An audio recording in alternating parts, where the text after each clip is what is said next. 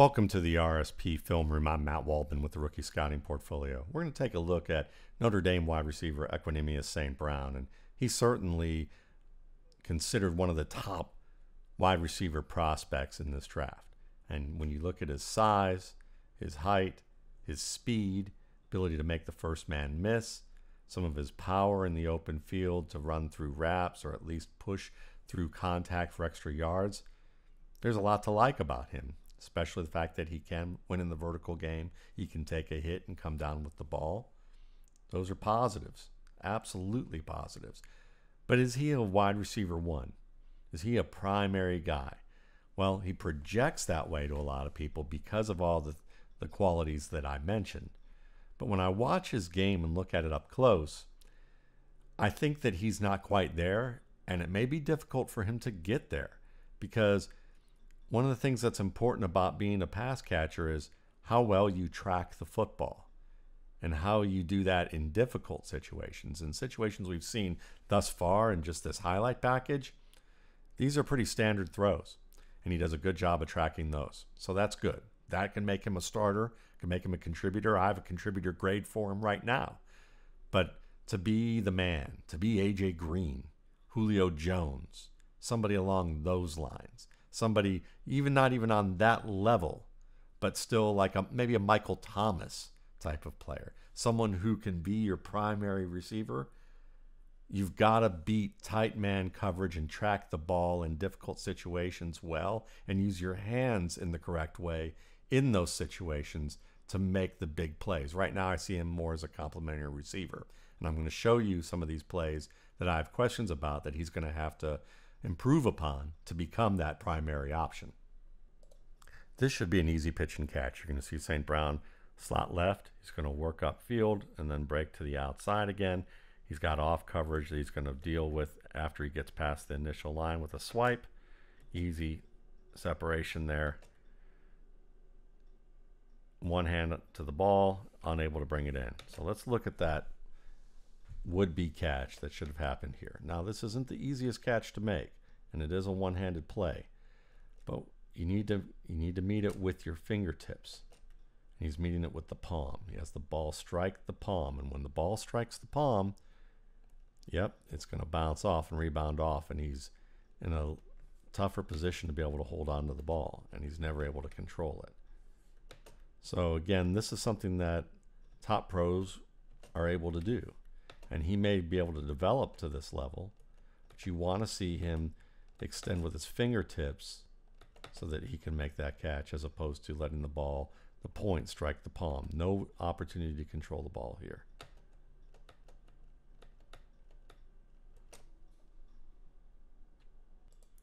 He's against Meeks. You're going to watch him at the bottom of the screen. He's going to work up field.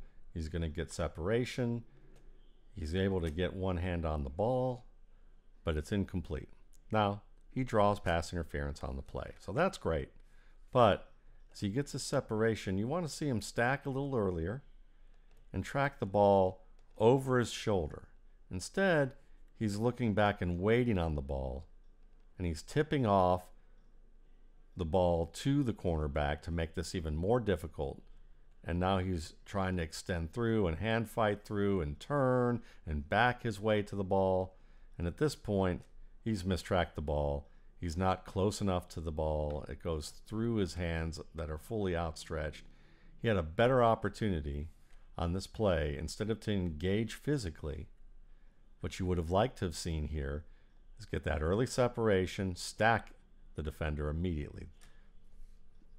Veer, in, veer closer to the inside and control the pace and track the ball over the inside shoulder to the outside shoulder with your back to the defender and make him run through you without having to back your way through here. instead, you're you're waiting on the ball, you're and you're opening yourself up to more conflict than you needed and also a tougher catch.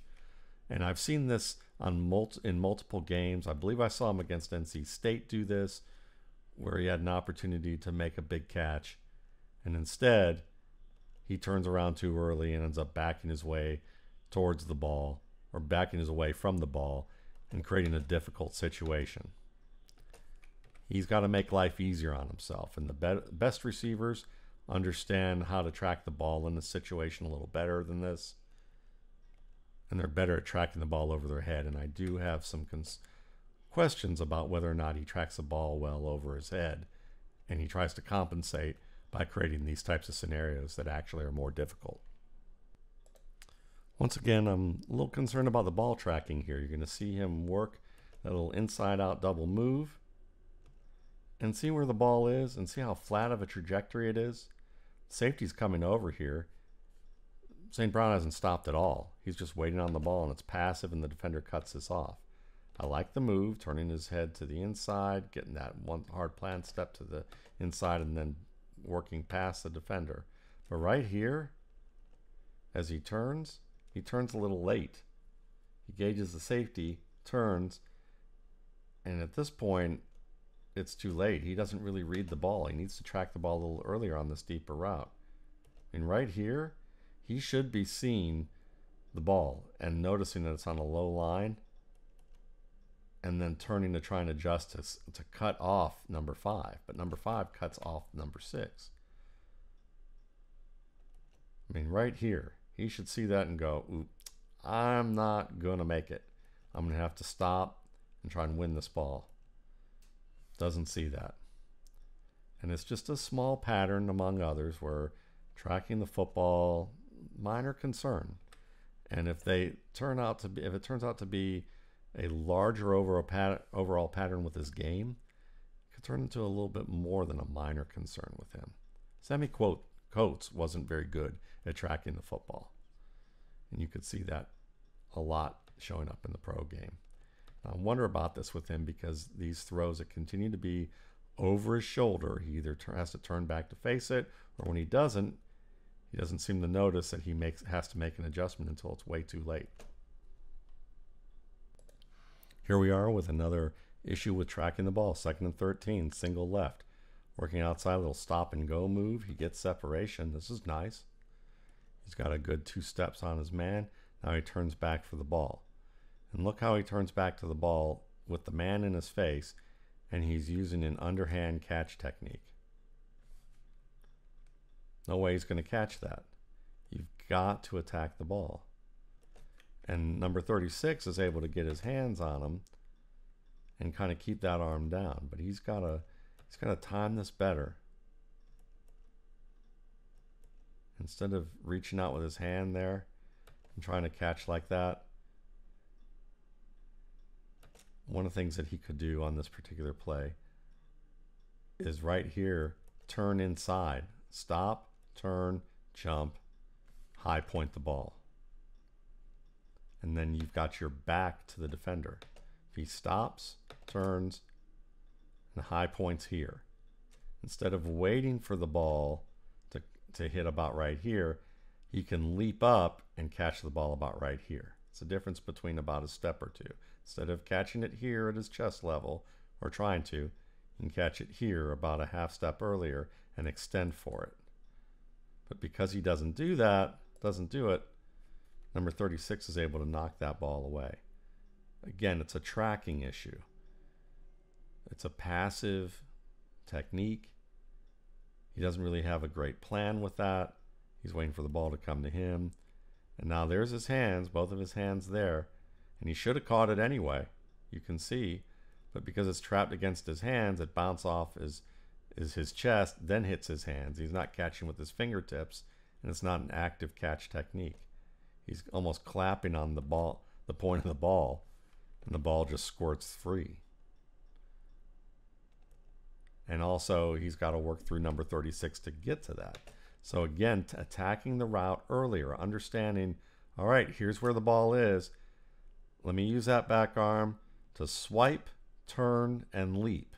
Instead, he just swipes and then just leans away and then passively tries to trap it and can't hold on to it. This is the difference between a primary receiver in the NFL and a player with primary receiver size and speed, but not the skills, at least not yet.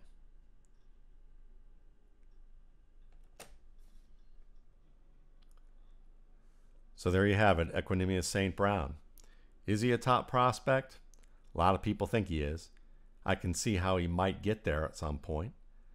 I certainly think that he's a contributor right now. I have a contributor grade for him, which means, hey, look, if you make him a wide receiver two, a wide receiver three, put him in four wide receiver sets, he might be able to become a consistent producer in an NFL offense in that capacity.